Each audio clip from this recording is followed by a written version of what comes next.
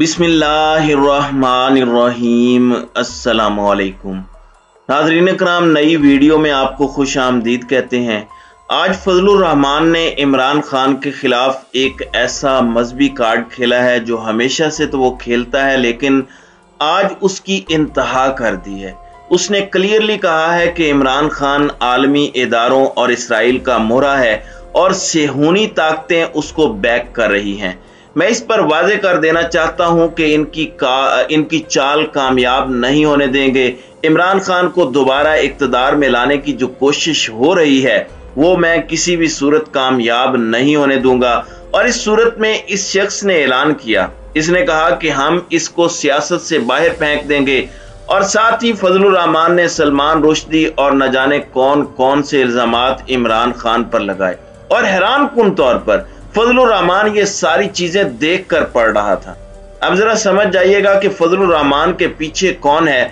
देखिए फजल रहमान को इस बात का पता चल चुका है कि इमरान खान बहुत ताकतवर हो चुका है और तीन ममालिक मेडिएशन का रोल प्ले कर रहे हैं इमरान खान और जिनकी इमरान खान से लड़ाई है उनके दरमियान। ताकि चीज़ें सेटल हो जाएँ और इमरान खान को निकालने वाला जो खेल है, वो नाकाम हो चुका है। और अब वो दोबारा दो तिहाई अक्सरियत से आएँगे और अगर ये मामला तय हो गए तो दोनों फ्रीकैन में ये चीज़ तय होगी कि इमरान खान किसी अदारे पर तनकीद नहीं करेंगे और इमरान खान के लिए साफ़ शफाफ इलेक्शन होगा और इमरान खान अमेरिका के खिलाफ एक हद से ज़्यादा आगे नहीं जाएँगे। यानी ऐसी सूरत हाल होगी कि इमरान खान बैलेंस रखेंगे, चाइना हो, रूस हो या अमेरिका।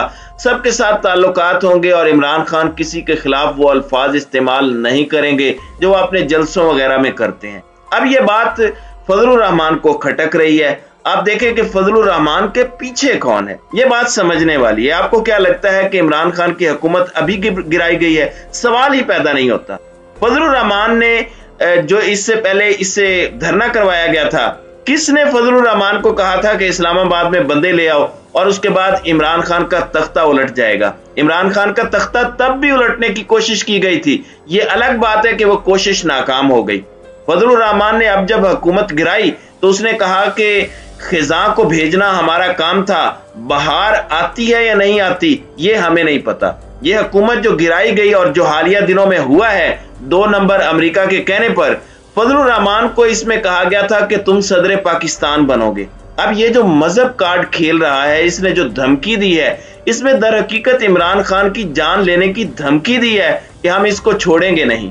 और इस सूरत हाल में आखिरी हद तक जाएँगे, क्योंकि इमरान खान असल में हर ताकत से ज़्यादा ताकतवर हो चुका है और ये इनको गवारा नहीं है। अब ये लोग इसकी जान के पीछे पड़े हैं। जिस तरह देखें कि वकार दस्ती, वकार सत्ती जो जियो का पेड सहाफी है और उसने जो ट्वीट की और जो वीडियो आई, और सबको पता है कि वो कहाँ से बन के आई है, इस पर मैं पहले भी बात कर चुका हूँ। वही मीडिया सेल जो मरियम बीबी के तहत काम करता है। और उसके और उसके लिए बतौर एक लिफाफे लिफाफी के तौर पर वकार सत्ती को इस्तेमाल किया गया। यानी मजहबी कार्ड उसमें इस्तेमाल किया गया। सहाबा की तोहिन, नबी पाक सल्लल्लाहु अलैहि वसल्लम की तोहिन नौजुबिल्ला गोया इमरान खान की ज़ुबान से ऐसे अल्फाज जो है वो बयान किए जा रहे हैं। इस तरह की बातें उसमें की गई हैं। और अल्लाह माफ़ करे इतनी बुरी तरीके से इमरान खान के खिलाफ मजहबी कार्ड इस्तेमाल करने की कोशिश की गई है कि आप सोच भी नहीं सकते। फजल रहमान का जो मसला है वो ये है कि अब असल में ये फसाद क्रिएट करना चाहता है, क्योंकि इसको पता चल चुका है कि हम सबने मिलकर इमरान खान को निकाला। और अब वो तो दो तिहाई अक्सरियत से आ रहा है। मैंने तो आकर और इसने तो आकर किसी को छोड़ना नहीं है, और जिन्होंने मुझे भेजा था धरना करवाने और इमरान खान का तख्ता उलटने, ये तो उनसे भी आगे निकल चुका है। आप देखें फजल रहमान ने कहा था कि दुआएँ खैर हो चुकी, किसने ये नवीद उसको सुनाई थी? ये बात समझने वाली है। देखें फजल रहमान कहते क्या है कि मैं अमेरिका के खिलाफ हूँ। जिस दिन इमरान खान ने कहा था कि हम अमेरिका को अड्डे नहीं देंगे, उसका साथ नहीं देंगे ये एब्सोल्युटली नॉट से भी पहले की बात है।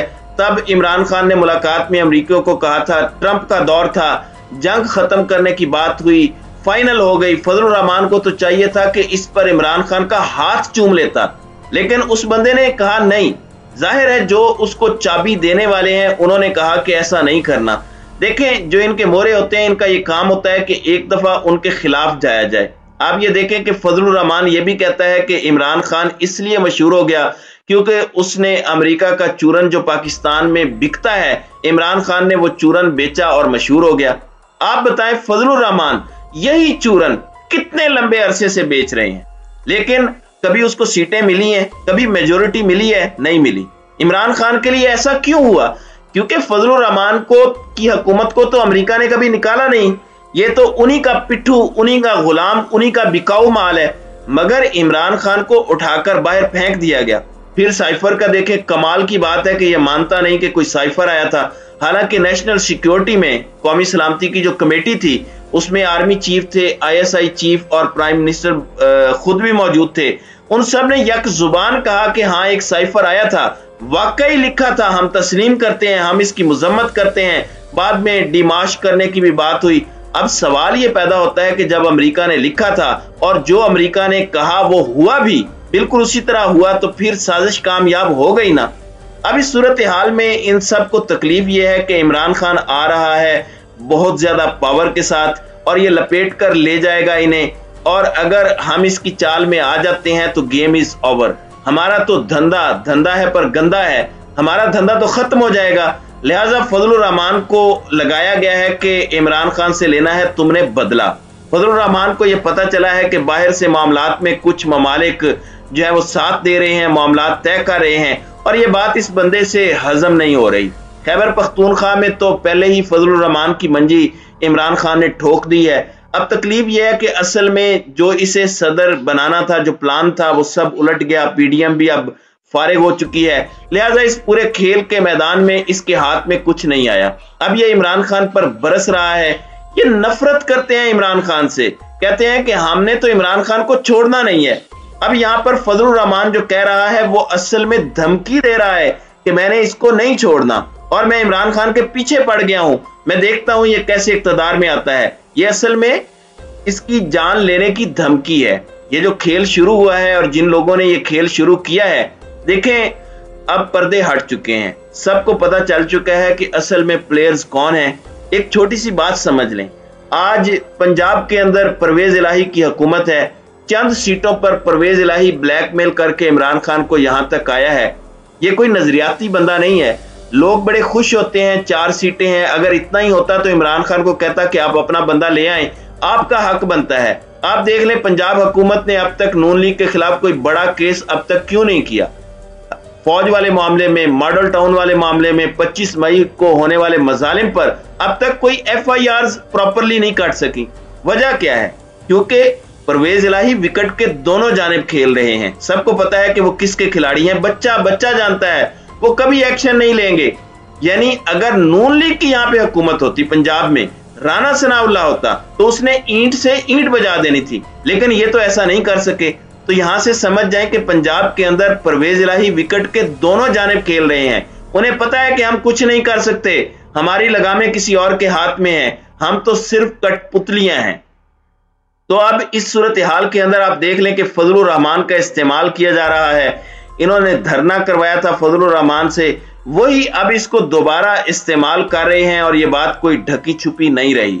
लिहाजा इस पूरे खेल में ये बात हमेशा याद रखिएगा कि ये तरक्की जितनी मर्ज़ी कर जाए, मगर इनकी खबासत खत्म नहीं हो सकती। क्योंकि इनको नफरत असल में इस चीज़ से है कि इमरान खान इस्लाम की बात करते हैं तो दुनिया सुनती है। मगर जब हम बात करते हैं तो कोई हमें मुँह लगाने को तैयार नहीं है।